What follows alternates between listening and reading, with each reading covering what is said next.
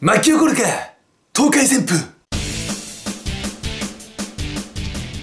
えー、この日曜日にね、えー、3月6日立川ハーフ日本学生ハーフマラソン、えー、選手権が行われましてこの結果見てねちょっとねこれ言わなきゃいけないなと思いましたんで今日早速動画撮ってみたんですけれどもやっぱ結果見てもね、はい、ザーが推していた創価大学セロナルド・ユージ選手、まあ、13位に食い込むと。しかもタイム1時間3分44秒。まあねえー、自己新とはいかなかったんですけれども、まあ、1位の林選手とまあ37秒差なんで、まあ、これしっかり走ったかなと。そしてこの12位にですね、藪下選手入ってるんですよね、明治大学の。はい、1時間3分42秒。これなんかの、ね、えー、まあ、今回、まあ、前回と箱根駅伝山登り5区でね、まあ、あのー、悔しい思いをした2人がこう、つららって ゴールしてたんでこれちょっと面白いなと思ってこれね取り上げてみたんですけれども山下選手もはいしっかり今年リベンジの年と思ってるんでしょう。頑張ってますよね。まあそれはそれはまあさておきですよ。まあこれもちょっとお教えしたかったんですけれどもやはり今回この立川ハーフで異彩といいますか輝きを放ったのは東海大学。こちらのね選手たちですよね、まあ、1位2位なんと林選手広田選手がワンツーフィニッシュ。れすごいですよね。1時間3分7秒まあ2分台じゃなかったんですけれどもこれ。いやいやほんとね。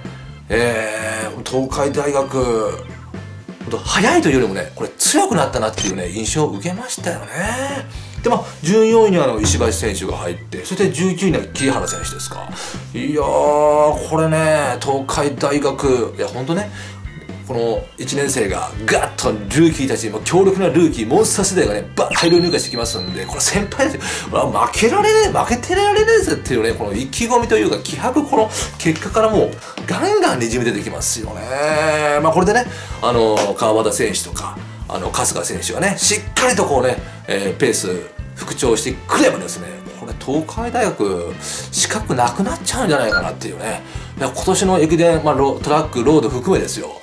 これ湘南の暴れん坊旋風吹き荒れちゃうんじゃねえかっていうね予感しますよね。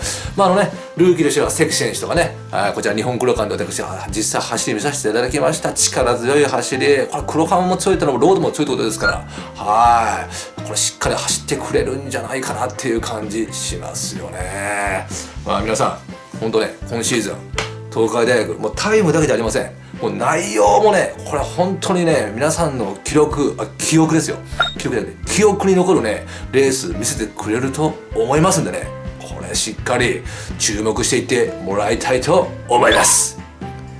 東海大学から目離すんじゃねえぞ。5位入賞寺西正寿京都産業大学。おめでとうございます。いやー京産魂。見せてくれましたね。